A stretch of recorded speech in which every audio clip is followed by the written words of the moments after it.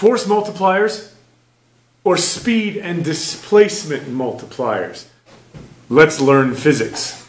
So here we have a simple, basic lever system.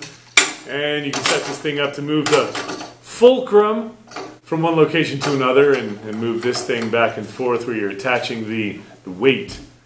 And the force applied by the lever to cause that thing to lift is going to be the output force. So I push down over here and it pushes up over there and that's the output force.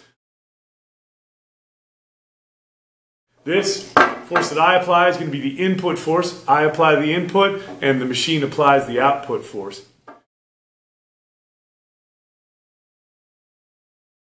And lever arms, lever arm, this is a lever arm from the fulcrum to the point of application of the of, of, the force, it's an output lever arm. And here, when I push down, is the input lever arm.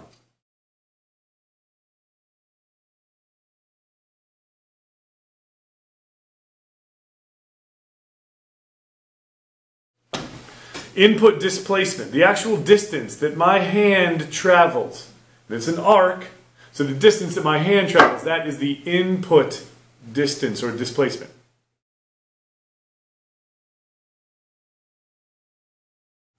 This, the distance that this moves, actually in an arc again, is the output displacement.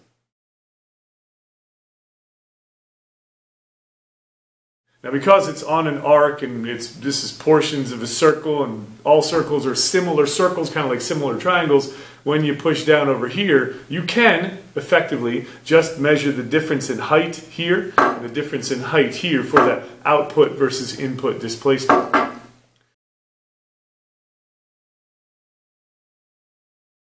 Shorten up the output lever arm and I can just take this and oh yeah that's really simple. So here this thing this that's a what I like to call a force multiplier. Small input force large output force.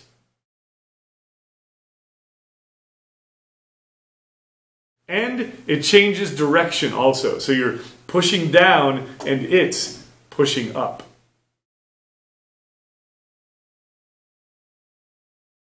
but it's also a speed and displacement divider necessarily. If it multiplies one thing, it's going to divide the other thing.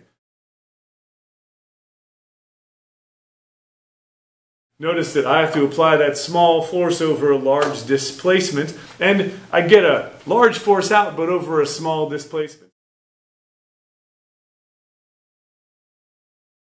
The two are pretty close to the same size, input versus output work.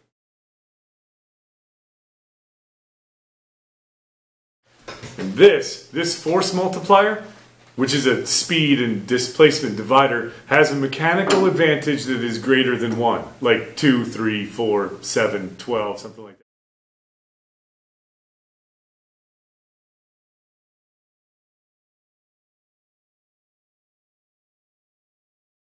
But sometimes you want things to go quickly, right? So you want something to, to move fast. Switch it. Just switch the input and the output. Here, it moves.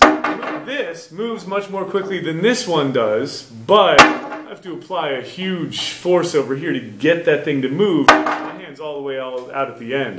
If I apply a force here, huge amounts of force necessary to lift that, but if I were to just remove it, it moves really, really quickly. This end over here, where you're applying the output force, small output force versus a large input force. So it's a force divider but it's a speed multiplier. And sometimes you want the speed multiplier.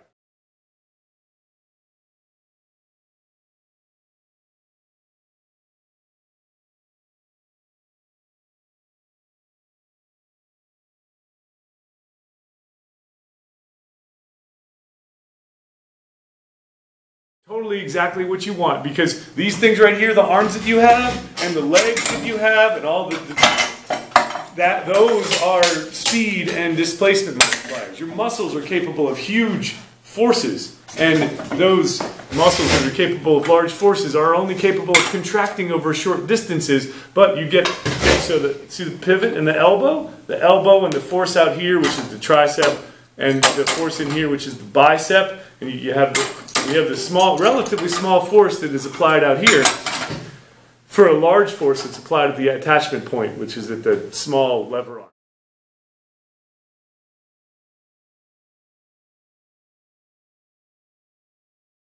And that big excavator, the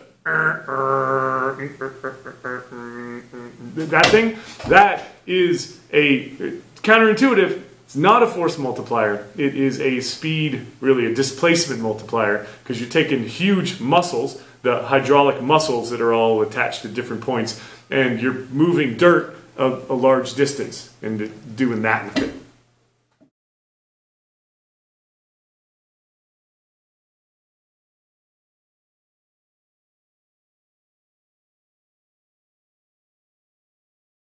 And for something like this, when your input force over here is applied over a small distance, but you get you know small output force over that large distance, that mechanical advantage is less than one, as in one half, one third, one quarter, one seventh, 0.32, 0.57.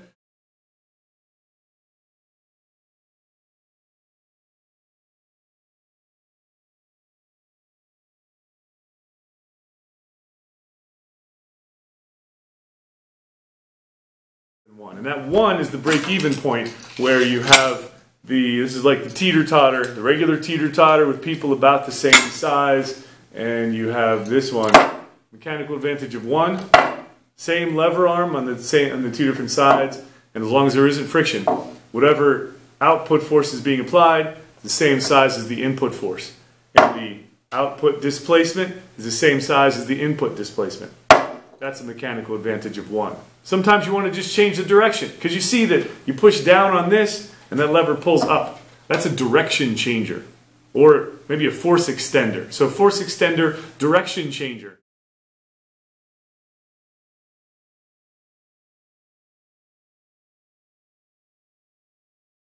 But you do this, that that is a mechanical advantage that is less than one because you see that that moves a whole lot more. Displacement speed multiplier, uh, like one fourth.